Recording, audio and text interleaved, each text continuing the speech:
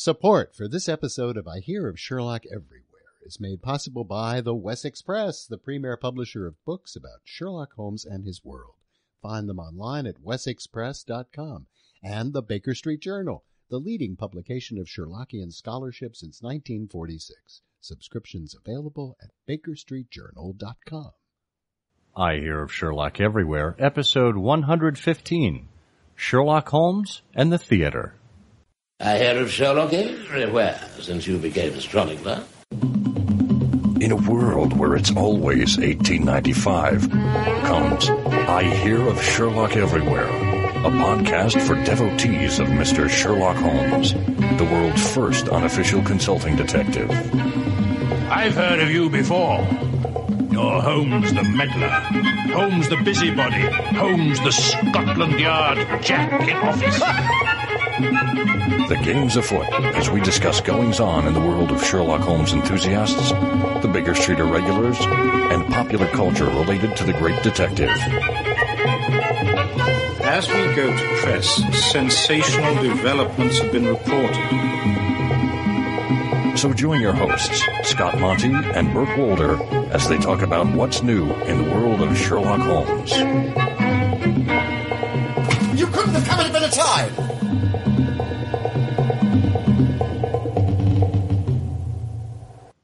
Nah, and what a great time it is to join us here at I Hear of Sherlock Everywhere, the first podcast for Sherlock Holmes devotees where it's always 1895. Ah, the French champagne has always been celebrated for its excellence. I'm Scott Monty, And I'm Burt Wolder. and here, just like the fine French champagne, we rise to the occasion once again to bring you an interview show. It's going to be a good one. I, I, I- just feel it in my bones. Yes, I certainly hope when we talk to our guest about Sherlock Holmes in the theater that we ask the question that's been on my mind for years and years and years. When it comes to Sherlock Holmes in the theater, where did he sit? Was it row K? Was it row L? Was it orchestra? He You know, where, where? Was he in the balcony? Where did he like, sit? he seems like a mezzanine kind of guy to me. Doesn't I want to cause a fuss, but you know, You may be right, but there's got to be a paper in that somewhere. there must be. There absolutely must be. Well, you know, here we are at the very end of February, at the beginning of March, depending on when you're tuning into this. And this, I have to tell you, in, in our cadence of podcasts, this month always irks me because we typically air our show on the 15th and the 30th of every month. And try as we might, we still have not been able to land squarely on February 30th. Mm-hmm. And we, we have to truncate it by a few days because of, well, I'm, I'm blaming Julius Caesar and the, the Julian calendar, if we can go back that far. Uh, well, I think it's just a question of will and determination. There's no reason why we can't put this out on March 2nd. Yeah, I guess, I guess that's true, but that would really screw everything up.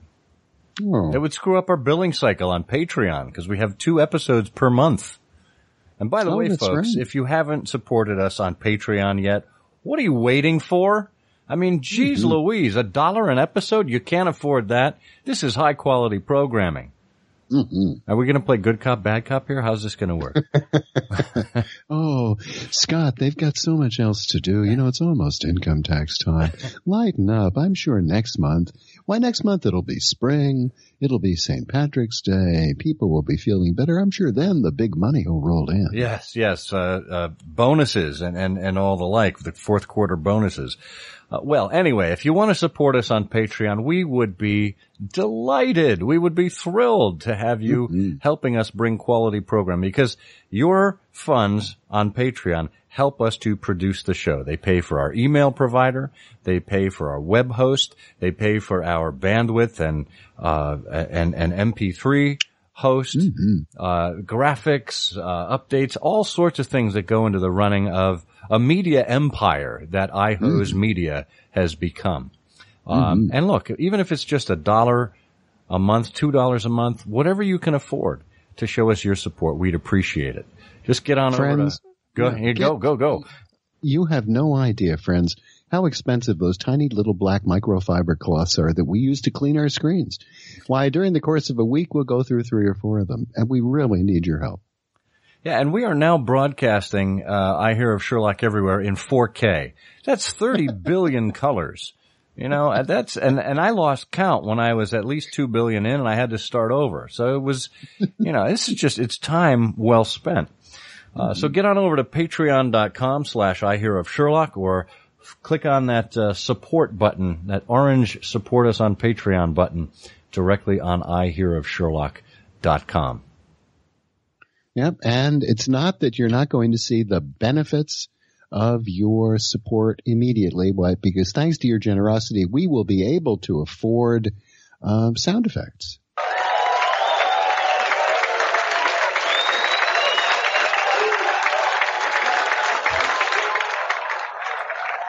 And you can see how well that's going over right now. the, the crowd loves it. Um, I'm still waiting for my laugh track. I need one of those in real life. to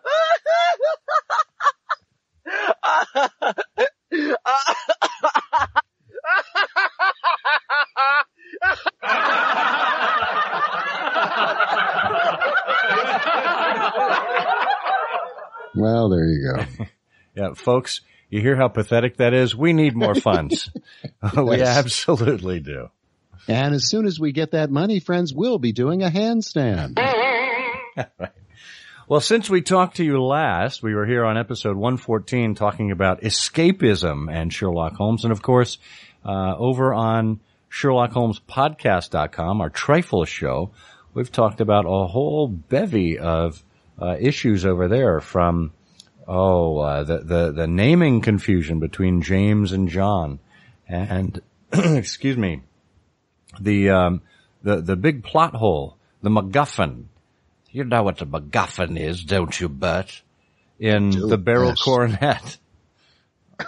So I much, I very much like corn MacGuffins early in the morning. Ah, uh, yes, of course. Well, and now, you know, crime doesn't pay. That's why we have sponsors.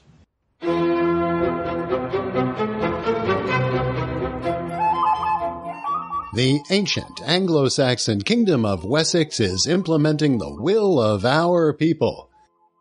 We're deporting illegal immigrants from Northumbria because it takes more than kebab shops in Winchester to make Wessex great again.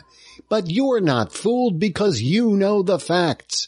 That's why you collect all 10 volumes of the Sherlock Holmes Reference Library from our Wessex Press the 10 volume edition of the Sherlock Holmes stories by Edgar Award winner Leslie S. Klinger.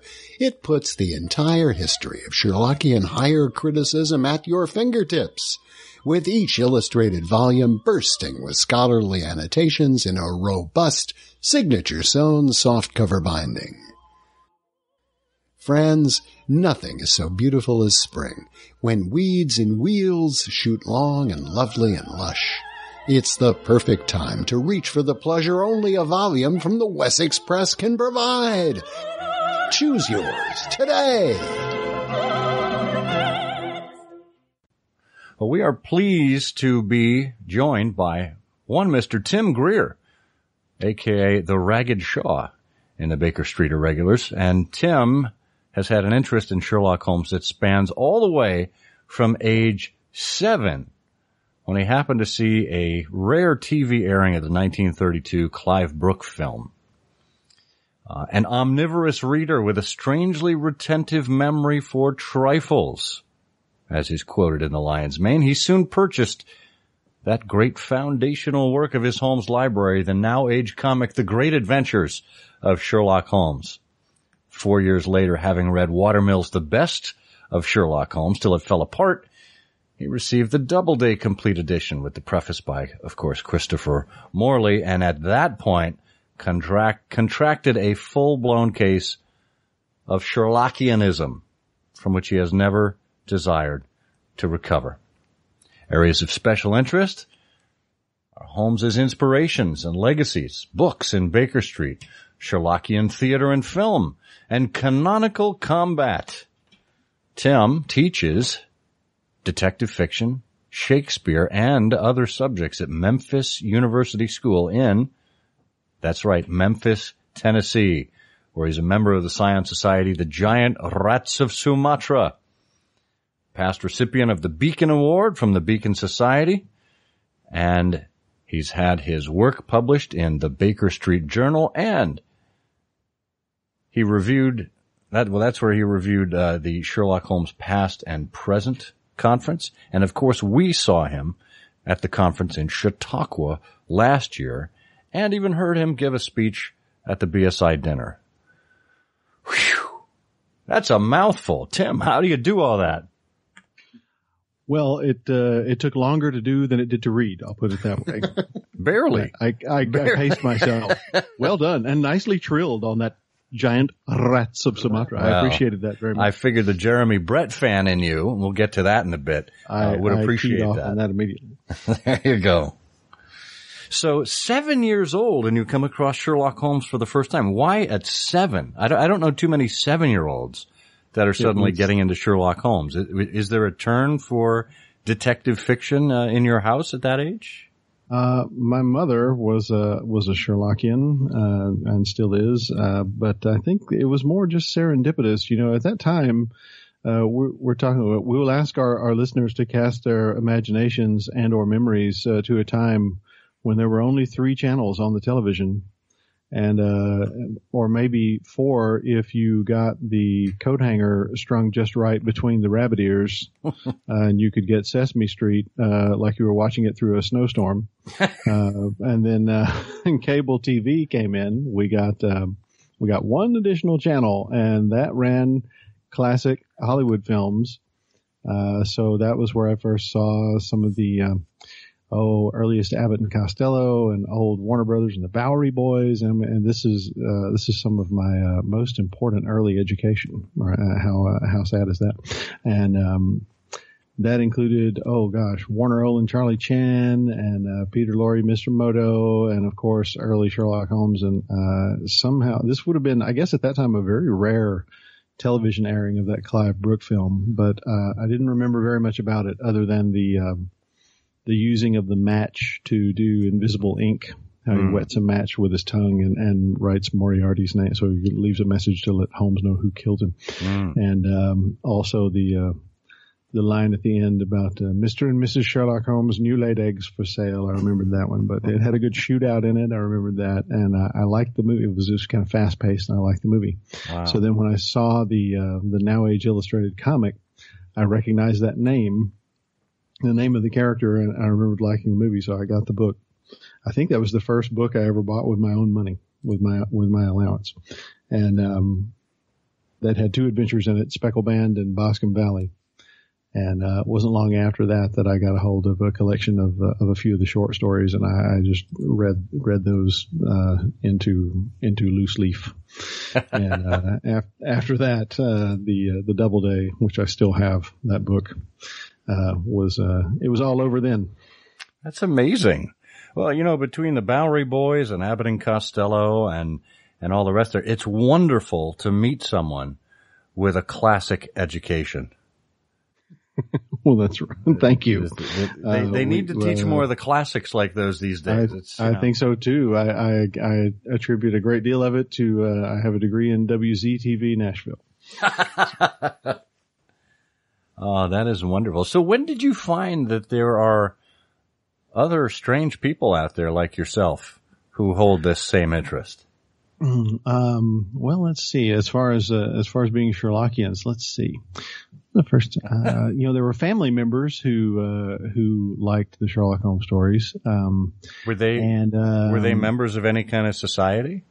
Oh no, we lived in a very small town. There, you know, we we're very, very far in a in a very rural setting, and um, it would have been uh, librarians and teachers would have been first. We had some we had some lovely ladies who ran the library in the small town where I grew up, and they were very good about um, getting every Sherlock Holmes thing that I could possibly uh, find out about. You know, in the in the on the dust jacket in the back, you could find the titles of other books Uh, and then you could go beg for those and there's, we'll track it down for you. And, you know, if you want to keep reading, we'll keep, we'll keep feeding your habit. And so they, were- they were very kind, uh, to do that for me. And, uh, I had burned my way through, uh, just about, uh, every uh, edition of the canon and, and various illustrations and so forth that I get my hands on. And then finally I hit, the first book about Sherlock Holmes, not written by Conan Doyle.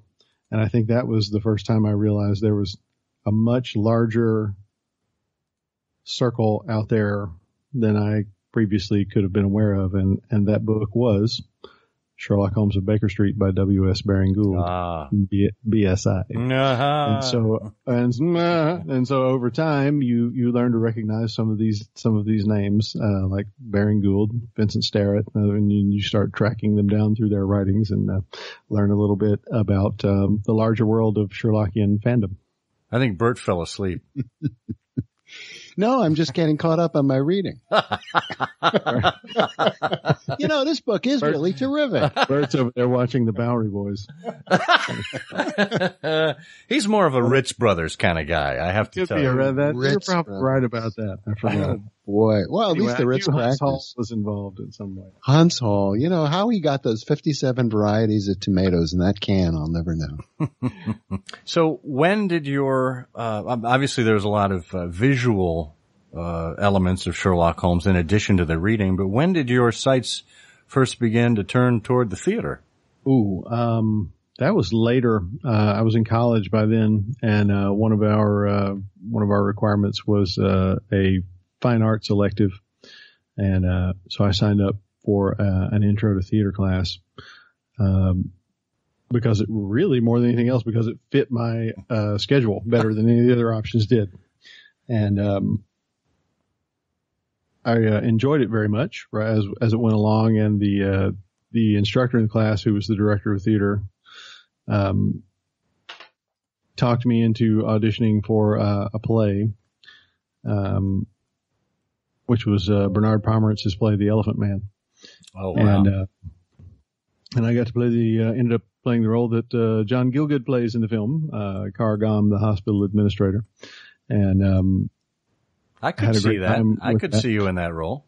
it's a it's a it's a terrific. I mean, what a great play to get to first cut your teeth on. We had a we had uh, a wonderful cast for it, and it was you know not your typical college theater affair. It was I mean it's a heavy play, but it's it's got its also got its moments of of great humor to it as well. And so uh, it was a it was a rich experience to to first get into the theater on, and uh, after that, and great mini shows um, over the over the years, but uh, and eventually transitioned into into directing more. I think because I came in as a as a literature person, uh, my interest was always sort of inclined towards directing and sort of the the superintending of the story, uh, at least as much as it was uh, acting or playing a character in the story. And so it's kind of a natural transition to me. What did you think you were going to do as a career when you uh, when you went to college? Did you think you would wind up in academia? yeah, I always wanted to uh, to write and teach. That was never uh, that I never uh, had any uh, real uh, doubt in my mind about that. So when when did you have these these two loves of your life, theater and Sherlock Holmes? Uh, When did you see the those intersect for the first time? Hmm. Theater and Sherlock Holmes. Um, Was it was it a Sherlock Holmes play uh, that you saw, maybe, or was it an opportunity to direct in one, uh, direct one, or act in one? Oh well, this will. I guess this will be a, a somewhat roundabout. This won't be as good of a direct answer as maybe it could be. But I, I you know, now get get ready to this. This may be controversial. Here we go. um, uh, the first time I had an opportunity to see anyone, uh, if this counts, doing a stage production of uh, of a Sherlockian piece, it was the HBO uh, telefilm of Frank Langella in Sherlock Holmes by William Gillette, which aired in the, I don't- I want to say it was about 87 or 88, somewhere in there. And, um, saw that on a, on a big screen at the frat house. and, uh, it was a weird frat. No, it was a, it was a weekend. No one else was there. And, um, just happened to be one of those.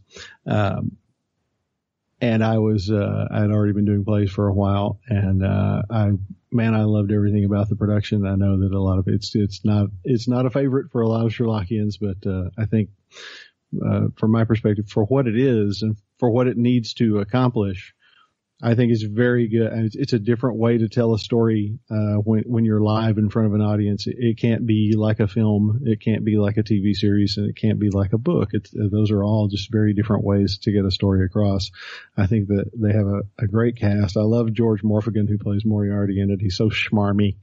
Uh, he's he's a terrific Moriarty for a stage play, and I think Langella does a, a, a commendable job as as a stage Holmes and, and probably not too different from from Gillette, probably not too far removed from from what Gillette would have done, from how arch the performance would have to be. Now, had mm. you had you heard of the Gillette play before you happened to see that HBO uh, version? Had had heard of it and had read the script ah. in uh, in the Apocrypha.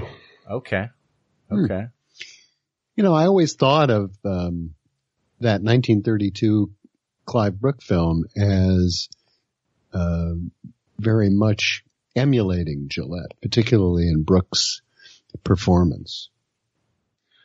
Did, I, I have to agree. Yeah. And, uh, I, I, think one thing that strikes you now, I mean, you can see the whole film on, on, um, on that, uh, internet video, uh, website that I'm not sure we can say the name That's of. Crazy. But, um, uh, but I think you can watch the whole thing on there. To you? One thing. Is that it? Uh, uh, something like that.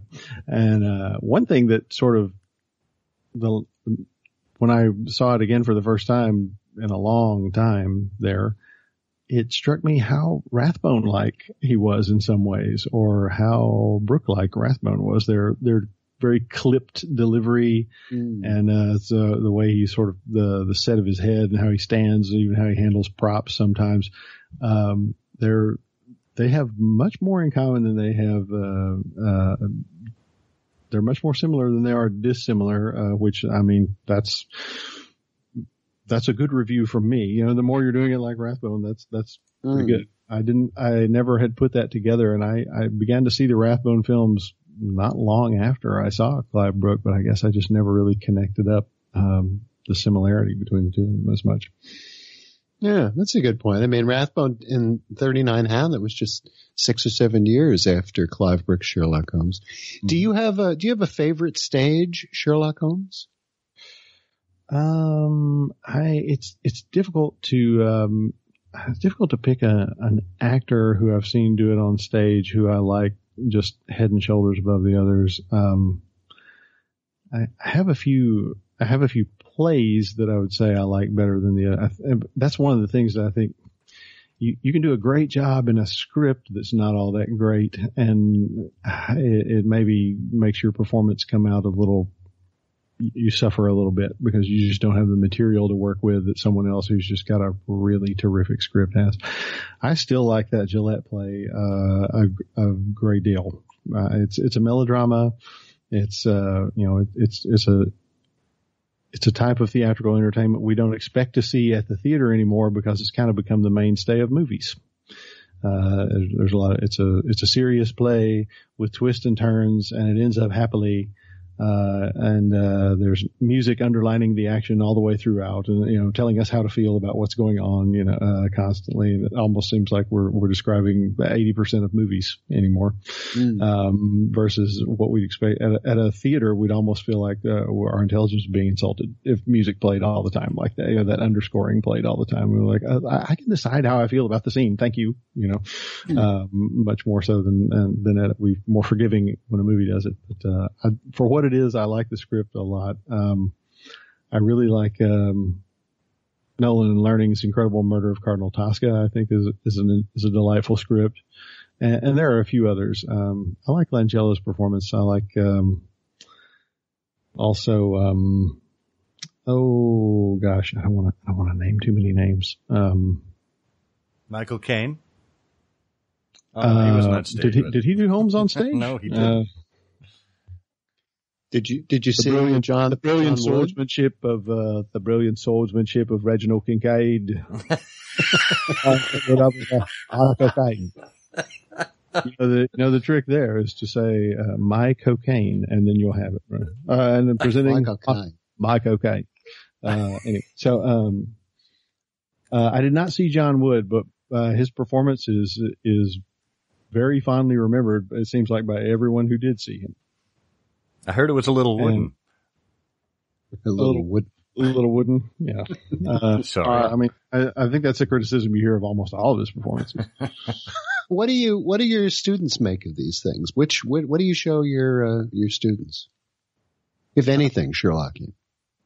Well, now in detective fiction, uh, which is a, a senior uh, literature elective that I teach, that that's a that's a course where we we begin with um, Murders in the Rue Morgue. We begin with Poe and, and what I would consider to be the the creation of the uh, early modern detective fiction genre or category, whichever way you want to look at it, and um, go up to and through Sherlock Holmes, and we we generally make it to about Raymond Chandler and the Lady in the Lake, uh, and uh, Hammett and the Maltese Falcon. Stop there. We don't really go much beyond that. If we ever get to do Detective Fiction two, we'll we'll move on past it. But um, uh, of course, a great deal of the class is Sherlock Holmes. Um, oh, easily half of it.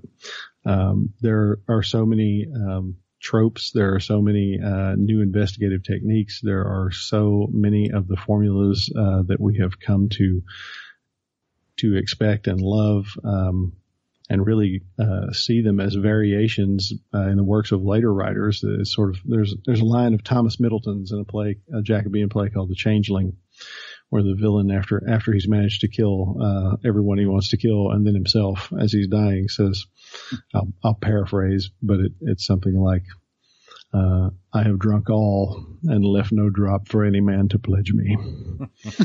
and after Poe and Conan Doyle, that's that's a, you have to feel like we're we're close to being able to say that in in detective fiction, and then it's just we're we're trying to think of things that they might not have explored first, or to disguise the fact that we are going down a path that someone else has already gone down as carefully as we may.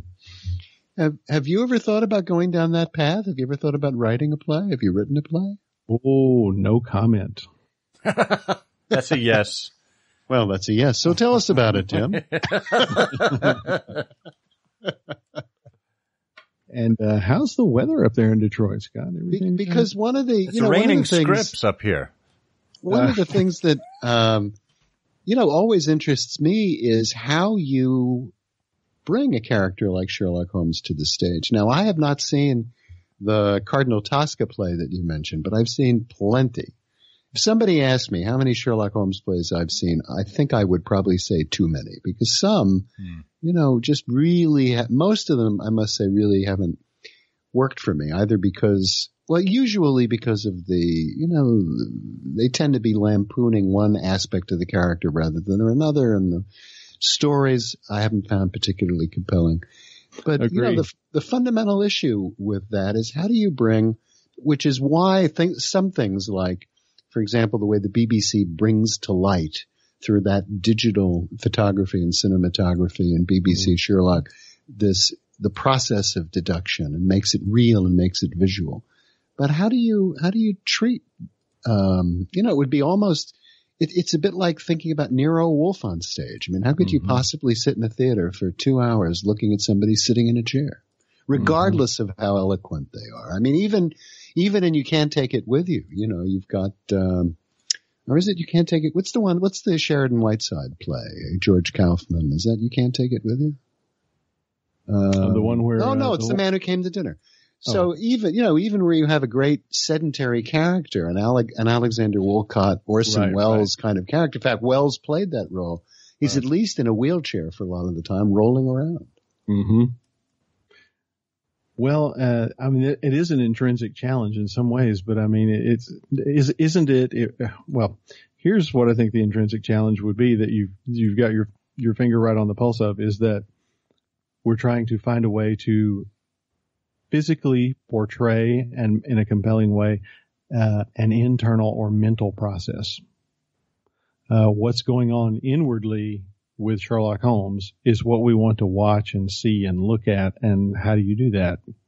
Uh, and, but in, uh, I guess the the the answer there, if there is an answer, is isn't that subject to the same rules of modern acting laid down by Stanislavski and practiced by pretty much all great 20th century and beyond actors? Uh, you you can fill your head with these thoughts all you want, but if you don't show me, I don't get it. And how will you show me? It shall be something physical you must find, you know, who's, who's the ascended master of this, Laurence Olivier, and there are others we could name, but they're going to, they're going to find a way. It's going to be a, it's going to be a costume thing, a prop thing, um, a, a stance, a pose, a sudden move. Uh, he's going to find a way to show us, uh, the pot coming to a boil and then that sudden flash of insight or whatever. He, he's going to find a way to physically show it to us so we can watch it. Um, or um, another way to say it is uh, you have to take us with you. You and, you can't just do it. It can't just be you. You have to take us with you. You have to find a way to take us with you, or or it's not a play anymore because the audience is not in it. And do you think that's a more difficult thing to do on stage or on screen, whether it's the small screen or the big screen? Well, that's a that's a great question. Because the, um, you know, the, the, the, screen actor can get away with, uh, you know, the twitch of an eyebrow. Uh, mm-hmm. and, and, and in a close up, the camera picks up on that and you understand the subtlety behind it and, and the multitude of meanings it may have. Uh, yep. with the stage, you need more, it seems like more dramatic, more exaggerated gestures, but Gillette, right. you know, we go back to, to Gillette's style. He was a, uh, just a huge proponent of natural speaking and natural acting. So mm-hmm. wh- where's the balance there when you're trying to uh, convey these really uh, subtle emotions, this this mental state? It's uh, it, it's it's tricky, and but but then watch him go in that scene where he investigates Larrabee's parlor in the Gillette mm-hmm. film. I mean, uh, of all the scenes in the film, it may be the most interesting.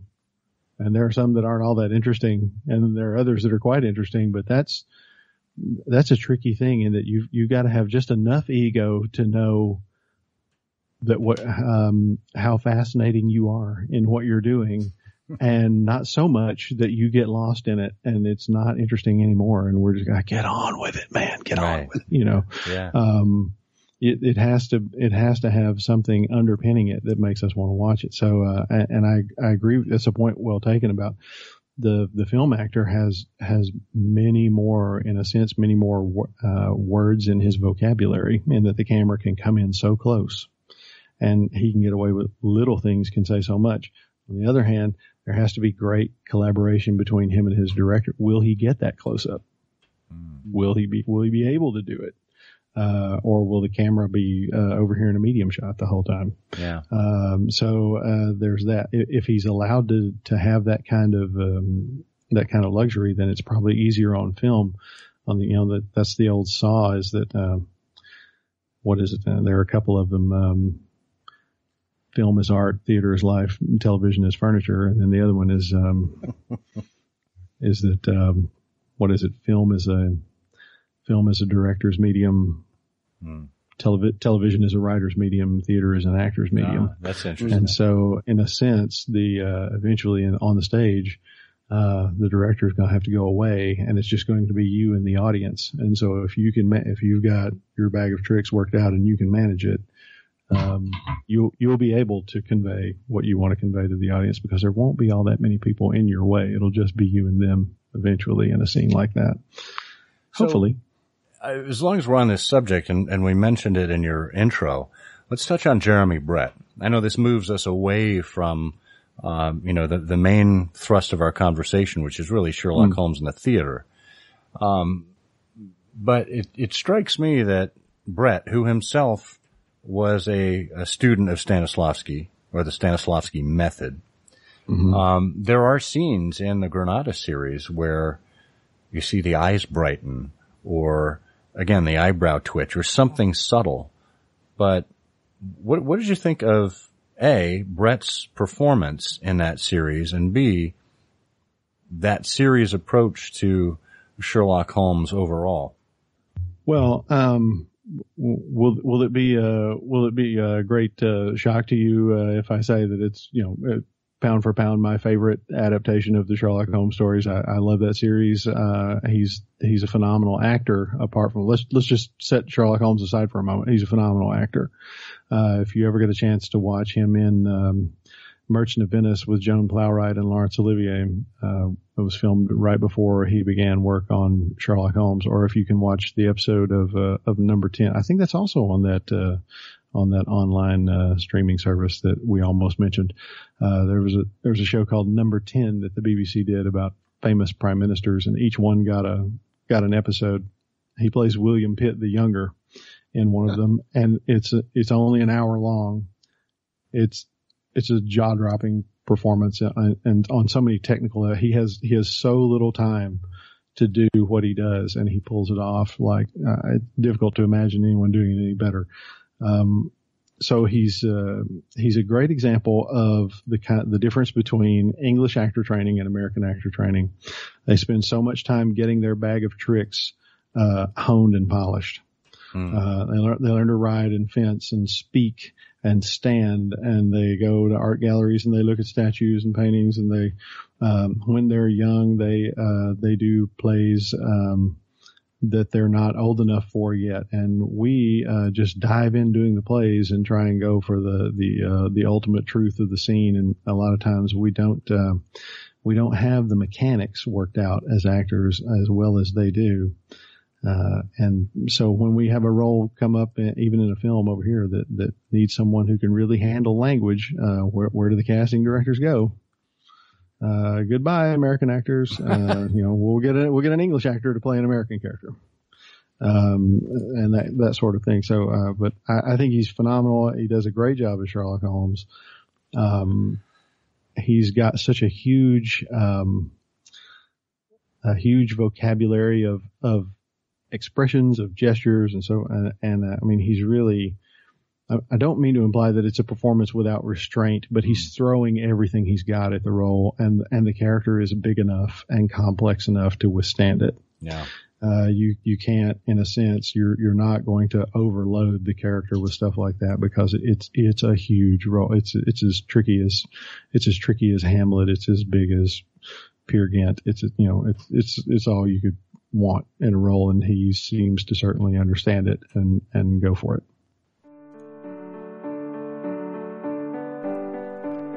The mind and art of Sherlock Holmes was the subject of the Chautauqua Conference in September 2016. In a peaceful, historic setting such as the Chautauqua Institution, it was right that we celebrated those two things as it's a mecca for adult education, particularly in the arts. We were treated to a number of talks, but the first, on the history and future of Chautauqua, reminded us of our own Sherlockian hobby, a hobby that we pursue through the pages of the Baker Street Journal. John Schmitz, the archivist of the institution, reminded us that the entity has always stood for three things appreciating the Sabbath, big tent inclusiveness, and the automatic formation of a community when we gather. We could say very similar things about being a Sherlockian.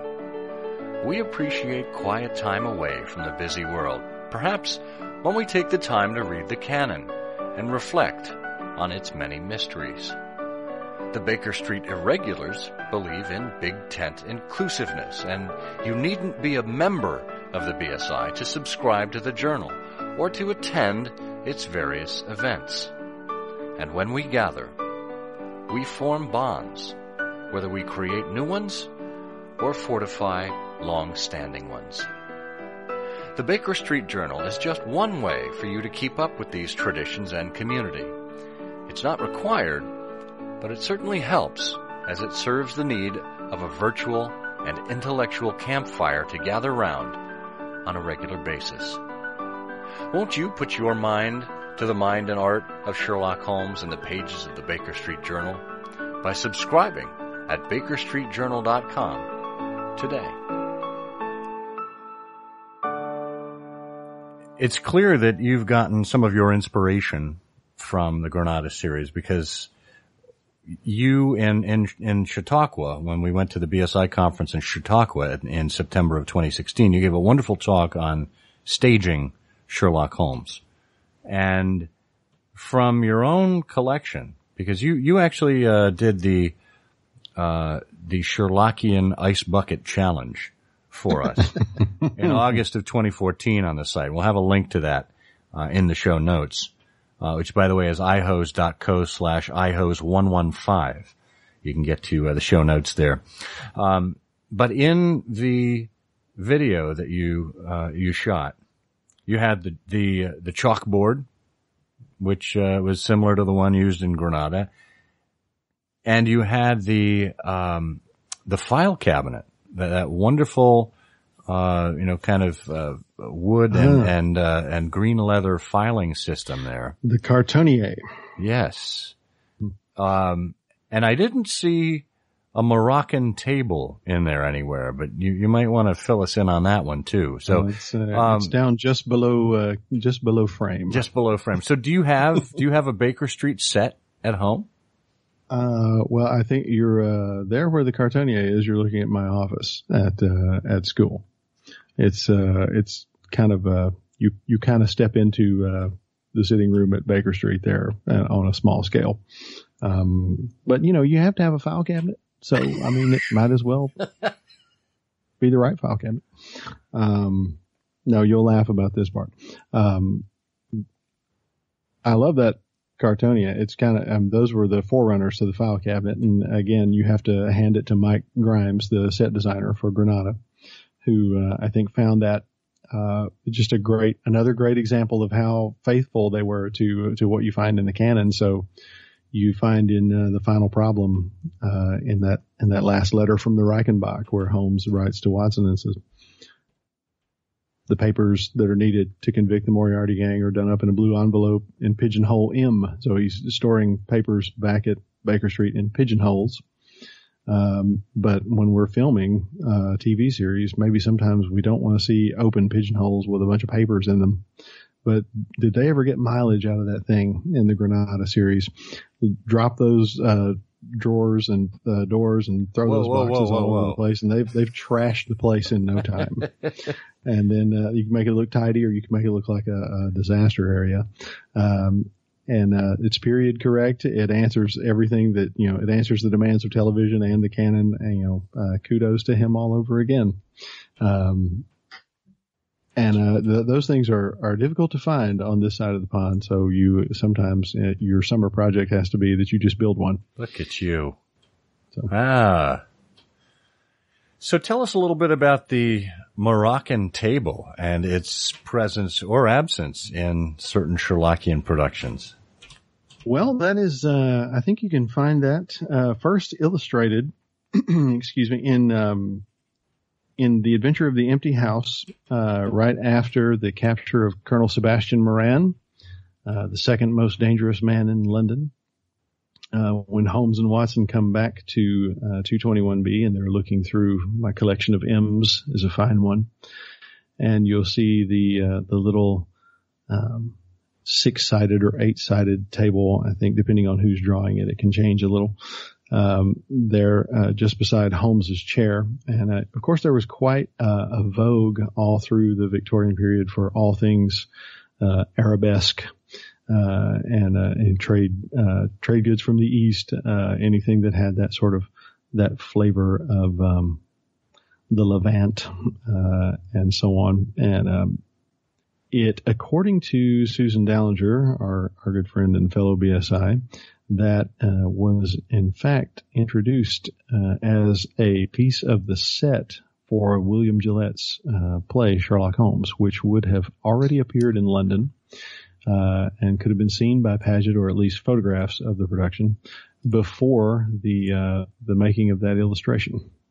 Uh, so that could be, along with the name of the page being Billy, that could be another contribution of Gillette into the canon. Uh, I'm, I'm still trying to track that one down uh, as an absolute uh, lock, but um, the earliest that I found it is uh, is there. And then, um, as you pointed out, uh, Scott, it later shows up in, uh, I believe it's Frank Wiles who, who draws some of the later illustrations where it shows up. He picks up the motif and keeps it alive Yeah. in some of the later illustrations, uh, for the strand. Um, it's just, uh, you know, it's very distinctive. It's easy to spot. It's, uh, it's the kind of thing, I guess, if you're an illustrator, you love to draw, but man, set designers latched onto it and you see it showing up in film adaptations and television adaptations. You see it in Peter Cushing's Hound of the Baskervilles.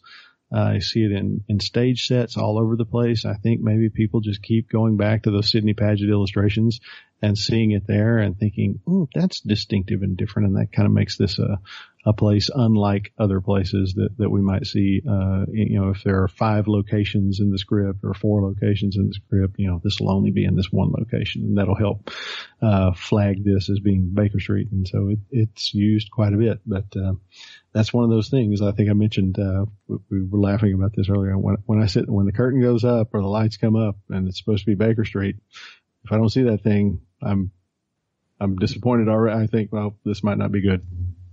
This, this could be bad. If I do see it, I think, oh, these people have done their homework. We could be, we could be in for a good show. So you never know. yeah, yeah. But it's encouraging to see the, the, uh, the Moroccan type. It's almost like there's some kind of brotherhood of, uh, of, of Baker Street set designers out there, and, and they've all got the word on the street is get the Moroccan table. I can neither confirm nor deny the existence of such a brotherhood.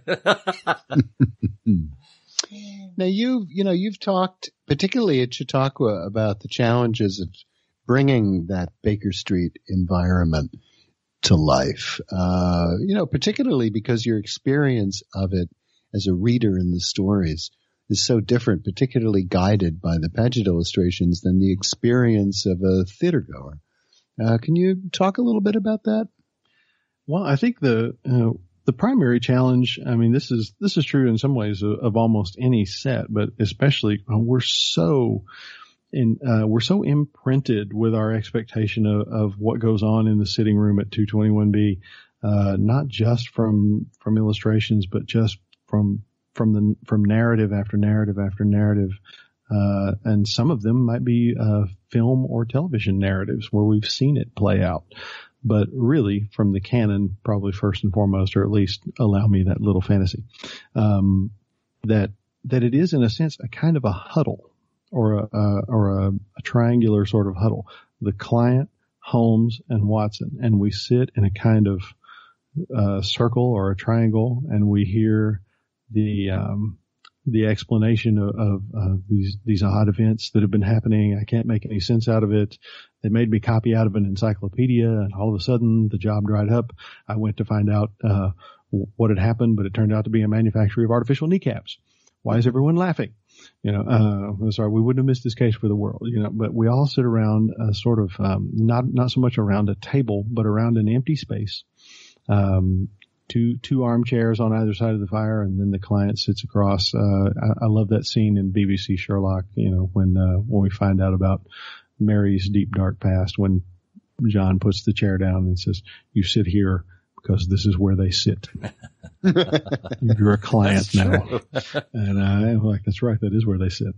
Um, and, and for us, now that if we introduce a, a foreign element, you know, when we're a reader, uh, we're in, we're in there too.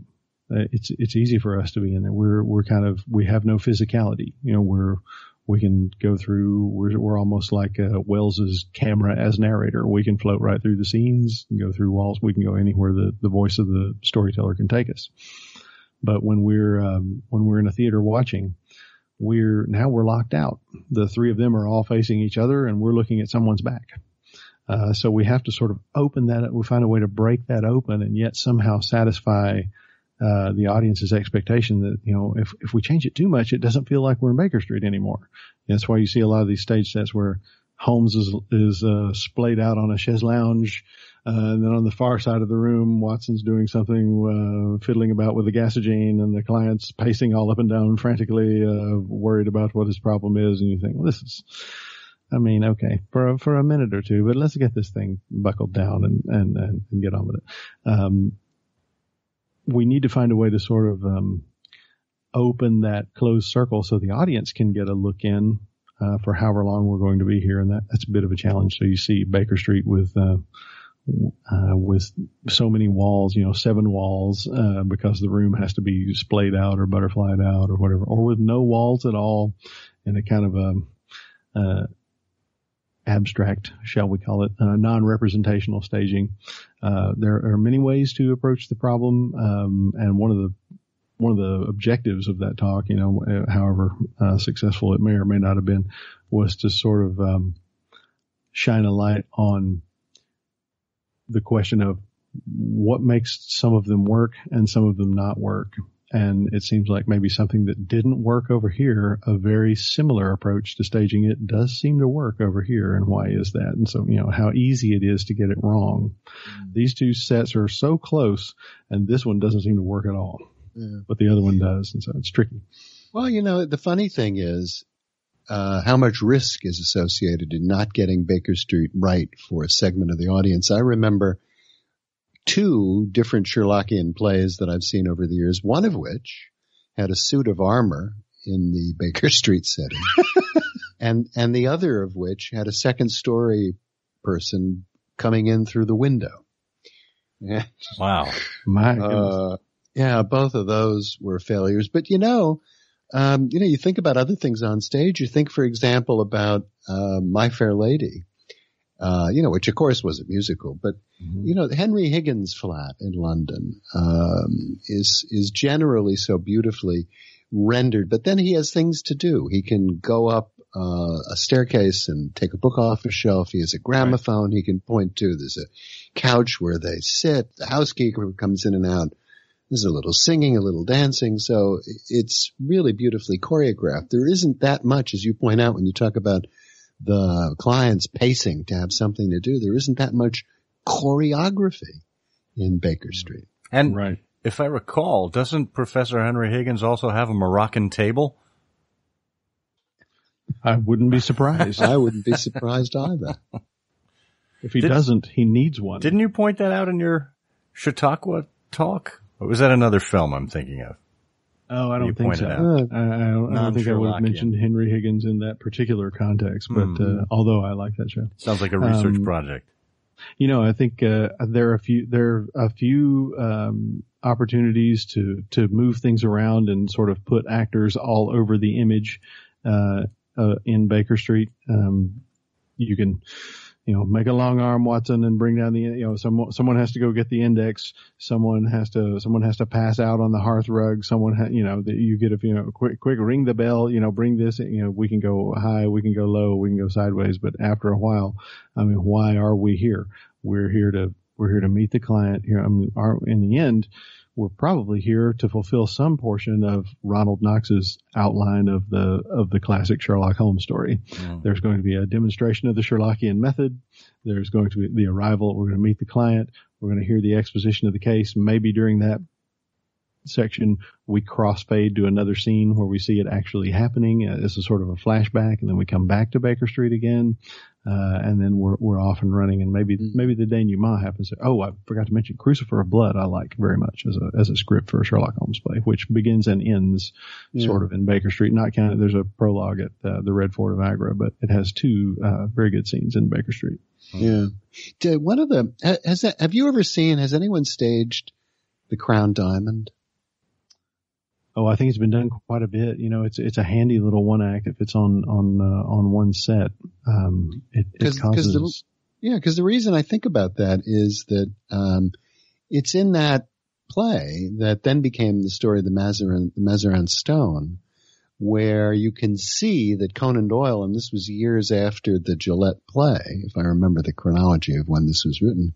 Correct borrowing some of what he picked up in terms of Gillette's approach to stagecraft. So that's the point of the play where hmm. the wax bust comes back there's mm-hmm. a curtain to cut that off or some sort of screen to cut that off from the rest of the scene. A phonograph plays, you know, Holmes and technology, a phonograph of violin music plays, right. creating the impression among the gullible thieves, the gullible uh, crooks that he's actually in the other room playing his violin for some bizarre reason. And he excuses himself to go play his violin.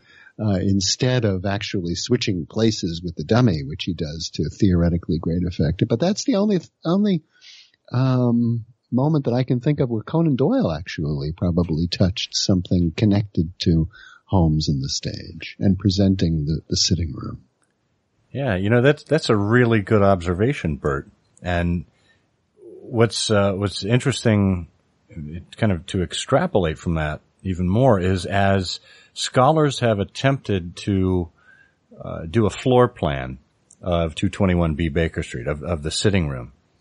There's always been this conundrum of the bow window and the placement of the bedroom, and it's almost almost as if there there were these you know these moving slats, uh, as in stagecraft, where the the room physically rearranges itself as scene dictates, and um, you know we, we go through these mental uh, calisthenics to try to uh, to try to map out uh, the, the the study as it as it existed, and it, it probably was freeform. Well, well said. Took took that one right out of my mouth. The uh, and you know, there's that one little parting shot, quick reference to a bow window in um, the Beryl Coronet.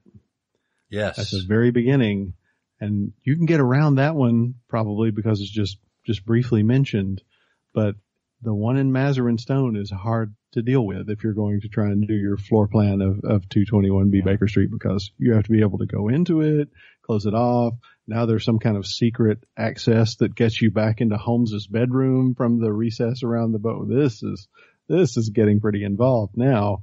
Uh, that one's not as easily dealt with. Well said. Well, and I have to imagine that somewhere along the way, you've attempted your own, um, your own architectural drawing of what the sitting room looked like? Well, we uh, we worked on uh, quite a few mock-ups uh, when we staged Crucifer Blood a few years ago, and um, we, you know, again, like we um, went went over at Chautauqua. The uh, I think this set really. I wish there were a way that you could say, well, we've come up with our ideal 221B Baker Street theater set. It's going into uh, warehouse space, and anytime we do a Sherlock Holmes play, we're going to drag it out and bang it back together. It's going to be fantastic. We're going to do a Sherlock Holmes play every two years. Um, but uh, it really has to um, has to has to dovetail with the other sets that the adventure needs. It has to share backstage space and wing space, and so it kind of has to be uh, it has to be purpose built. I think for the, for the production. So yeah. that that's a tricky one. So we we went through several manifestations before we got one that uh, that we liked for Crucifer Blood. But I think there's a little uh, peek at one of them in um, one of my old uh, IHOS posts about um, the Smith uh, reviewing an article from the Smithsonian uh, and Sherlock Holmes, there's a little um, SketchUp model of uh, 221B that yes. I did based on Sidney Paget. Yes, yes, yes. Now, um, when we talked to you at Chautauqua, um, we, we very pointedly asked you about your opinion of the Billy Wilder set for the private life of Sherlock Holmes. and I just, I want to recreate that scene because, uh, it, it, it was mm-hmm. worth, it's, it's, worth revisiting. Of course, the, the, the Billy Wilder private life of Sherlock Holmes, you had these, this massive expanse of a room, multiple rooms, really. Right, right. Uh, almost looking like something out of a Neil Simon set clearly this is after uh, the Priory School and uh, the enormous reward claimed from the Duke of yeah. Holderness because they are uptown living. Yes, and and it was clearly after uh, Walter Matthau and Jack Lemmon took the the screen in The Odd Couple and that that wonderful kind of Riverside Drive, you know, massive New York apartment with uh, kind of an indoor. Um, Hanging Gardens of Babylon effect as you go through all the all the various rooms. Yeah, and and what was it? Sherlock Holmes for Dummies uh, called it. Uh, oh gosh, that's great. That's a great excerpt too. He's he's right on with. It. He says, "Oh, um, I can't remember. It's a uh, it's a long succession of rooms decorated with stylish potted plants. Uh, it's a, that hanging one, gardens and, of Babylon, and uh, it's that one, and also um, Murder by Decree, the 221B set. It's absolutely ridiculous 221B said in both of them. And, yeah. two, and Murder by Decree, I mean, it's virtually, it's a greenhouse. they have, they have a greenhouse inside glass walls. And it's a conservatory. Yeah. yeah. Professor Plum. Do you know? I mean, apropos, apropos of nothing. Do you know that that recently um, I came across this uh, clip, and I realized, you know, Christopher Plummer obviously is Canadian, and obviously so is William Shatner. And in listening to this little bit of dialogue, I detected some interesting echoes in Plummer's delivery here. Polly Nichols, Annie Chapman, Liz Stride, and Catherine Eddowes were slaughtered and their deaths disguised as the work of a madman. And to my everlasting regret, I led the murderers straight to Mary. Spock, I can't do it. I was expecting him to say there was nothing I could do about it. About it. Didn't happen. Oh, it was, it was the madman. I thought I heard the uh, the assassin from the Adventures of Sherlock Holmes Yeah. playing the Granada theme in the background. Did I hear that at the end?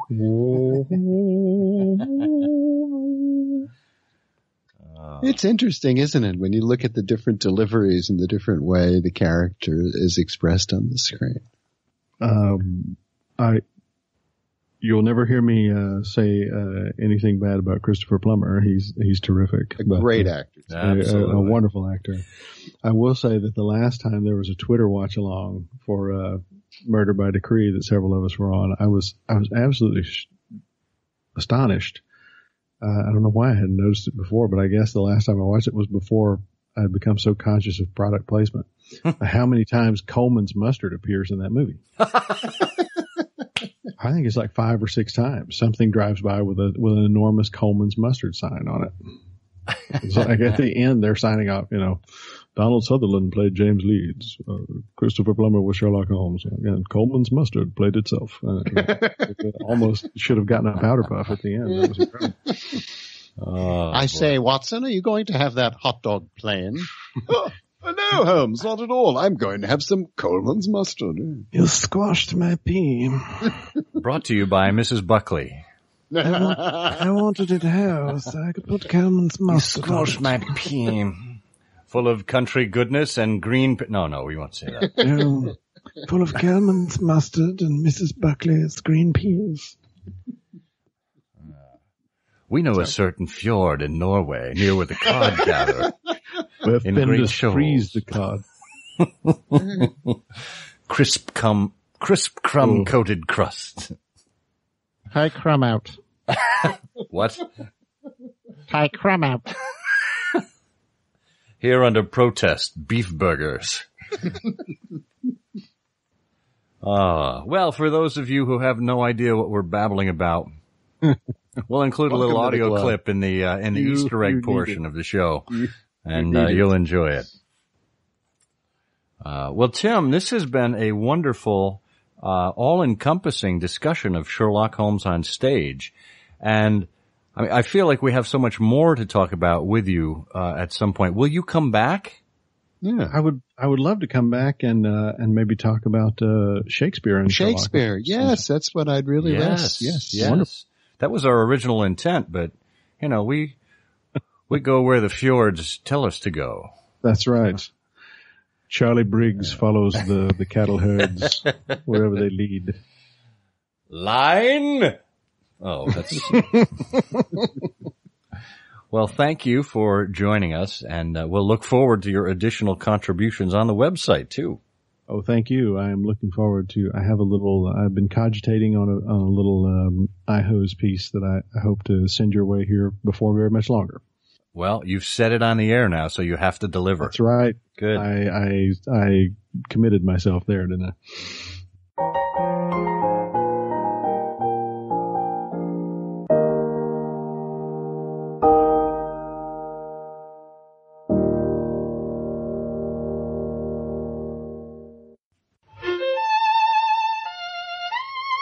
Friends, are you tired of stage plays that always get the Baker Street set wrong? With bearskin rugs and lava lamps that have no business being there? That's why your community playhouse needs the new Sherlock Holmes brand Marcel Marceau Mime Theater. It taps your audience's greatest asset, their imagination. Detailed photographs show you how to suggest a deadly swamp adder, a spectral hound, and the evil one-legged Jonathan Small. It's the only boxed entertainment system that delivers the three C's. Completely convincing characters. Characters. Just pick the story you prefer and start rehearsing.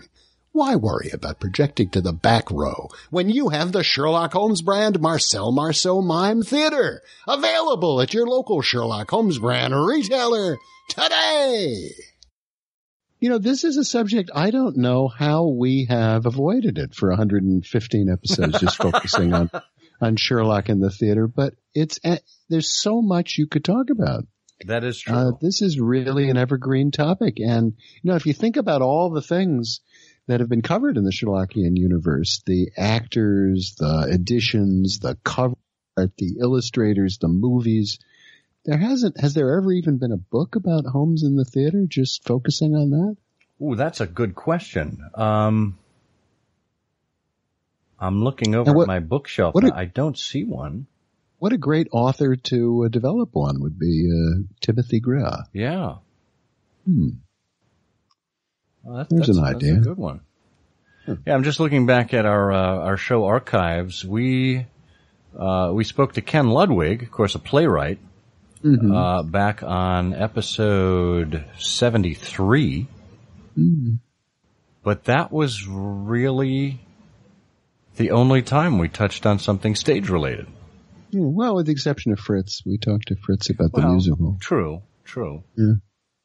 Hmm, And it really, Interesting. yeah, those those were both focused uh, conversations on one particular uh, one particular piece of stage work, not you know Hmm. stage as a uh, as a topic in and of itself.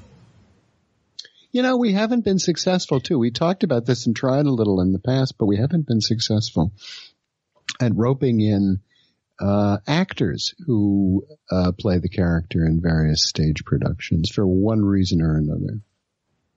So usually they're short runs and people have got to go on and do other things. Oh, you know what? We did actually one one time, one time we did? did.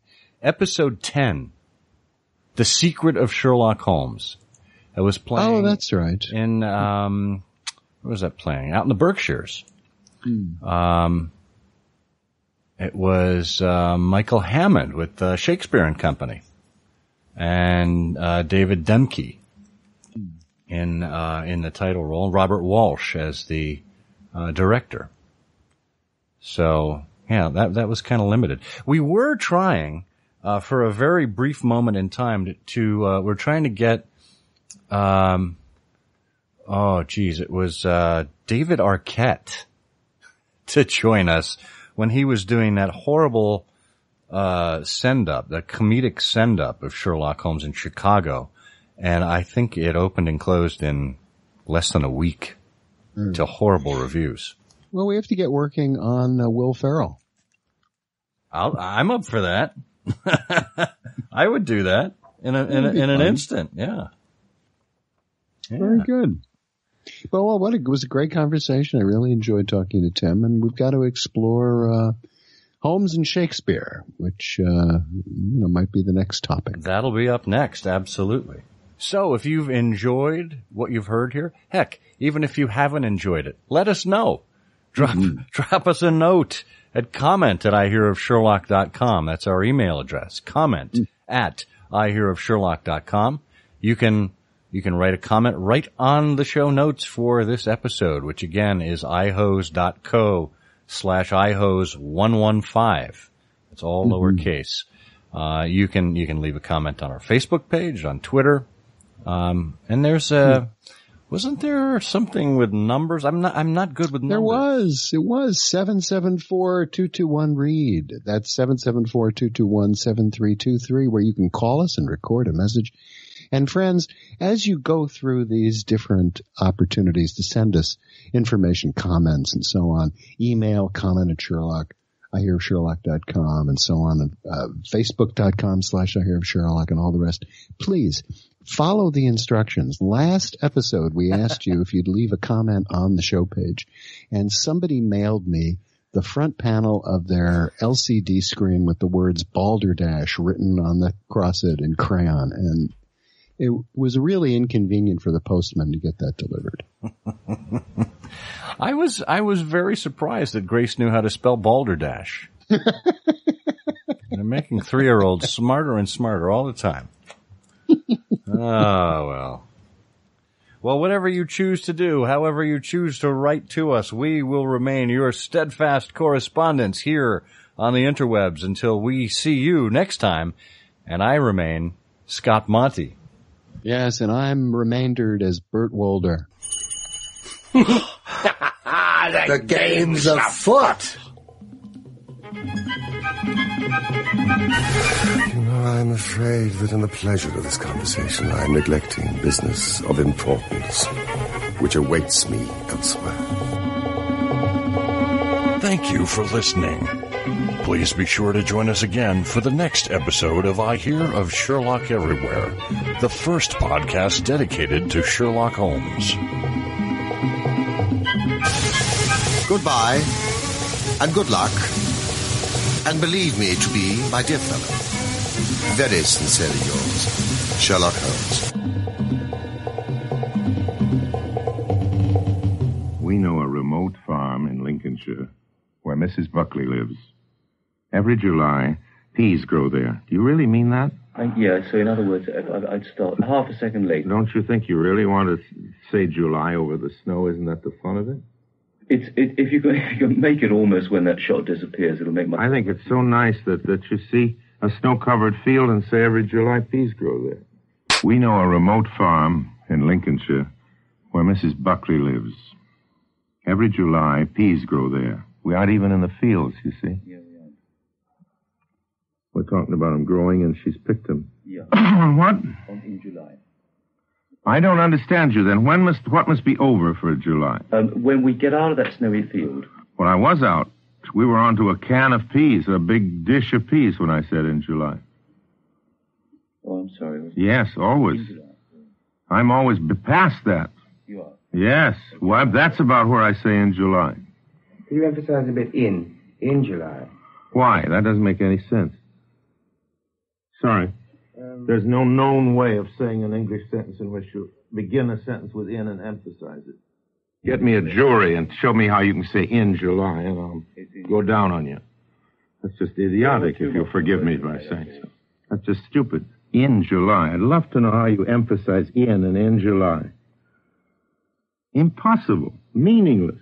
I think all they were thinking about was that they didn't want to. He isn't thinking. Wilson, can we just do one last? Yeah? And it was my fault. I should. I said in July. If you can leave every July. You didn't say it. He said it. Every July. Your friend. Fraction late. Every July? So after the shot. No, you don't really mean every July. It is. that's- But that's a that's bad copy. It's in July. Of course it's every July. Too much directing around here. Norway. Fish fingers, no, Findus, Norway. We know a certain fjord in Norway, near where the cod gather in great shoals.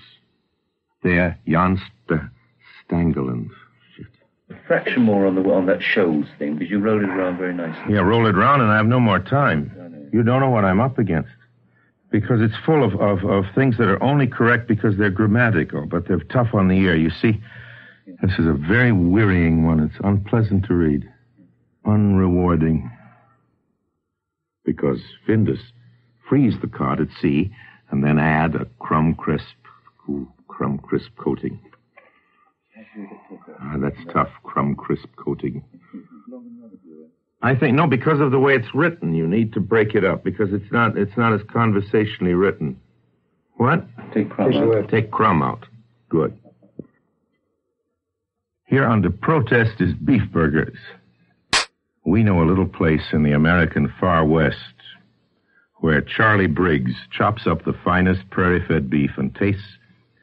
This is a lot of shit, you know that. You want one more? More on what beef? You, you missed the first beef actually completely. What do you mean missed it? You're emphasizing prairie fed. But you can't emphasize beef. That's like his wanting me to emphasize in before July. Come on, fellas, you're losing your heads. I wouldn't direct any living actor like this in Shakespeare. Will you do this? It's impossible. Orson, you did six last year, and by far and away the best. And I know the the reason. The right reading for this is the one I'm giving it. At the moment. I spent 20 times more for you people than any other commercial I've ever made. You are such pests. Now, what is it you want? No, I think. In your depths of your ignorance, what is it you want? Whatever it is you want, I can't deliver because I just don't see it. That was absolutely fine. It really was. You, you. It isn't worth it. No money is worth it.